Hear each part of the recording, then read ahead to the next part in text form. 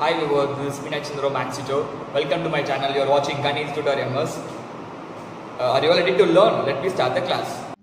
Uh, in this video, I'm going to solve the problem. Example 2, Subdivision 1, Chapter 4, 10th Standard NCERT Max. Actually, what they given in this problem, check whether the following are quadratic equations. So, they given a few equations. We have to check whether it is a quadratic or not. Clear? So now in this quadratic equation we know that a degree should be a 2 we can call this kind of equations or quadratic equation. The degree the polynomial which has a degree 2 it is a quadratic equation. So here also degree 2 so why we can't call this as a quadratic equation or they they said we have to check whether it is or not. For example uh, x squared minus x squared plus x plus 1 equal to 0 now you can tell me here also x squared now you can tell me it is a quadratic equation or not? Because the degree the highest order is 2 here right? So here 2 here 2 here 1 here 0 so the highest order the highest power is 2 that is order is 2 so degree 2 so it is quadratic equation only no? For when you are solving this plus x square minus x square cancel. Here remaining x plus 1 so x plus 1 equals 0 now it is linear right clear so the same way we should check the given equation is a quadratic or not. When we are simplifying this equation into general form, then only you can able to able to identify that is a quadratic equation or what kind of equation what kind of equation it is. Clear? The same thing. First one, x minus 2 the whole square plus 1 equal to 2x minus 3.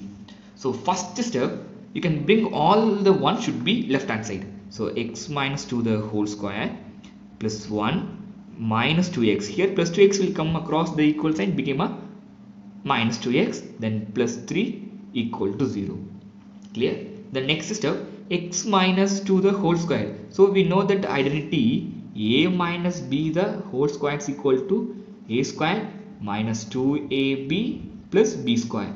So use this identity to express the first one.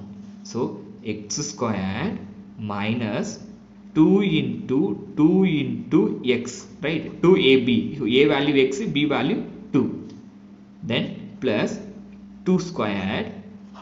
Then here plus 1 here plus 3 so that is plus 4 so minus 2x plus 4 equal to 0 here it is plus 1 plus 3 so they are the constants so I can simply add it and write plus 4 remaining minus 2x equal to 0 clear now you can solve this x squared minus 2 to the 4 into x 4x plus 2 to the 4 minus 2x plus 4 equal to 0 you can see here plus 4 here. Sorry sorry plus 4 right? So now x squared minus 4x here minus 2x so minus 4x minus 2x same sign. You can add it. 6x plus 4 plus 4 so plus 8 which is equal to 0 now it in a general form or not that is x square.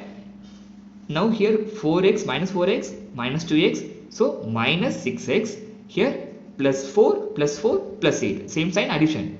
So now it is in a general form. It is in a form of ax square plus bx plus c equal to 0 now what is the degree of this? Degree now is 2 right? So degree is 2 now you can tell me it is a quadratic equation or not yes obviously it is a quadratic equation right? We can't again it can't be simplified again right? We can't able to simplify this again. So the given is the simplest form of a given equation. So the simplest form now it is quadratic. So the given equation is a quadratic equation clear? Therefore the given